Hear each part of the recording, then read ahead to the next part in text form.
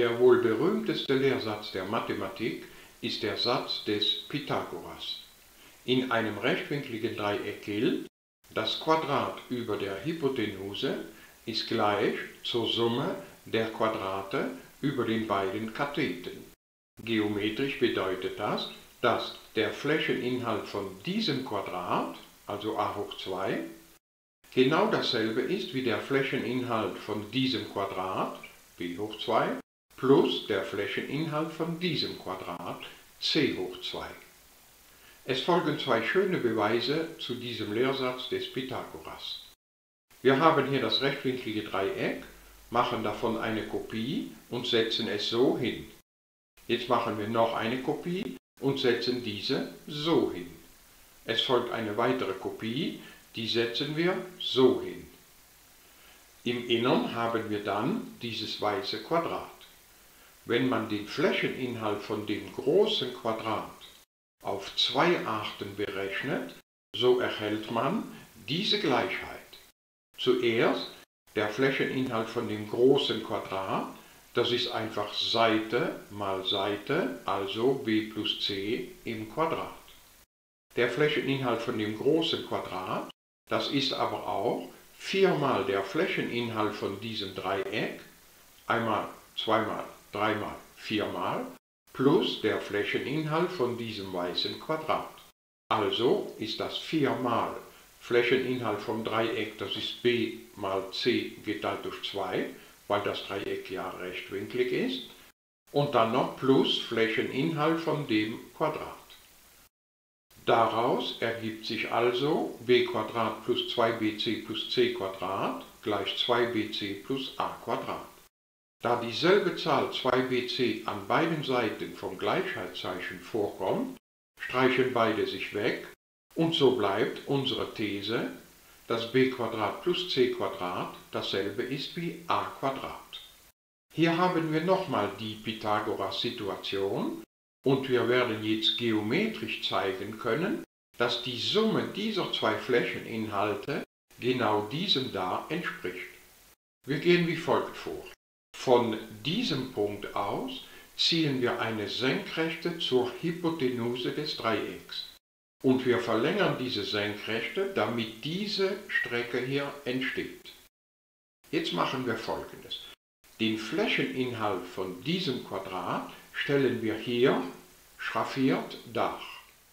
Wir werden dieses Quadrat jetzt verwandeln in ein Parallelogramm, das aber genau denselben Flächeninhalt hat wie dieses Quadrat. Nehmen wir diese Seite als Basis und diese Seite als Höhe, der Flächeninhalt von dem Quadrat, das ist diese Basis mal diese Höhe, und der Flächeninhalt von dem Parallelogramm ebenfalls. Der Flächeninhalt von diesem Parallelogramm auch und von diesem auch, bis zu diesem. Der Flächeninhalt von diesem Parallelogramm, das ist diese Basis mal diese Höhe, also ist dieser Flächeninhalt gleich zum Quadratflächeninhalt. Jetzt nehmen wir dieses Parallelogramm und drehen es um 90 Grad um diesen Punkt. Machen wir das? Wir drehen dieses Parallelogramm um 90 Grad um diesen Punkt. Ist gemacht. Jetzt nehmen wir dieses Parallelogramm, dessen Flächeninhalt immer noch gleich ist mit dem Flächeninhalt von dem Quadrat, verwandeln wir dieses Parallelogramm aber so, dass der Flächeninhalt gewahrt bleibt. Der Flächeninhalt von diesem Parallelogramm, das ist diese Basis mal diese Höhe. Der Flächeninhalt von diesem Parallelogramm aber auch. Der Flächeninhalt von diesem Parallelogramm auch. Und der Flächeninhalt von diesem Rechteck auch. Insgesamt haben wir also dieses Rechteck konstruiert, dessen Flächeninhalt genau derselbe ist wie der Flächeninhalt von diesem Quadrat. Jetzt machen wir genau dasselbe mit diesem Quadrat. Wir werden es verwandeln insgesamt in dieses Rechteck und wir werden zeigen, dass die Flächeninhalte gleich sind. Legen wir los.